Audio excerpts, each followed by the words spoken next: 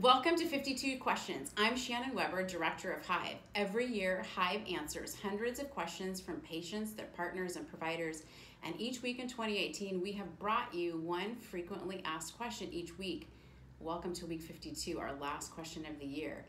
And for this last question, I've come to Ward 86 to talk with Dr. Monica Gandhi, who's the medical director at Ward 86. And Monica, this is a question that we get frequently on social media from people, and it's also a question that is frequently searched and that lands people on our website. And the question is Is there a magic cure for HIV? Another way this question is asked is Is there an herbal cure for HIV? And what is the answer to that question? Well, so great question. And the first thing I want to say is, to my knowledge, there is not yet a magic cure for HIV or an herbal cure for HIV, though actually the, we're totally working on it and there's some very exciting considerations for the future.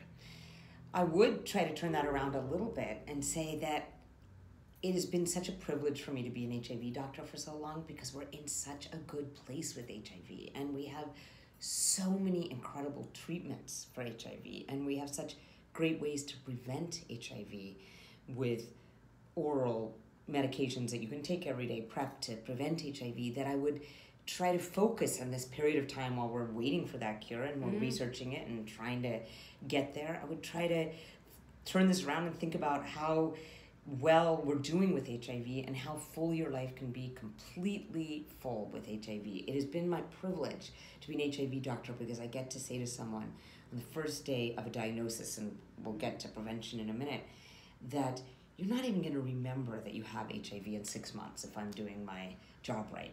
I'm going to put you on medications where you have no side effects. If you have a side effect, it's my fault. We're going to change it. We have so many options for medication right now that we're going to change it. We're going to make it so that you feel like you're taking a vitamin every day.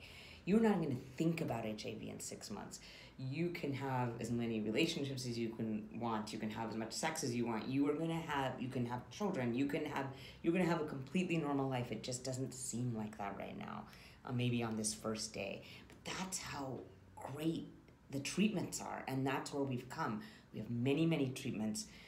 They have very few side effects and if they do we can just switch you to one that that you don't have any side effects on and you take it every day and it's like not and you don't even have anything. You don't have anything wrong with you and it will never ever affect you um, if we take these medications every day. It is such a wonderful time in hiv treatment and i want to just really stress that. Mm-hmm.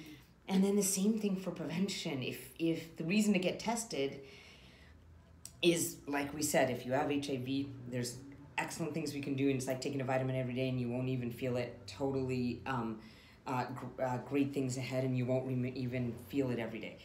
In terms of the other way to reason to get tested is we have such good prevention ways to prevent getting HIV, taking a single pill every day, um, other ways to have your partner be on treatment so you don't get HIV. There's so many good ways to prevent HIV. We're just in a totally different era, 35 years um, and counting into the epidemic. So um, even though we don't have a magic cure and we don't have an herbal cure for HIV right now, and I can safely say that we're not there, we are in a totally new world with HIV, and it is positive and it is forward, and you you have no limitations. You you have zero limitations.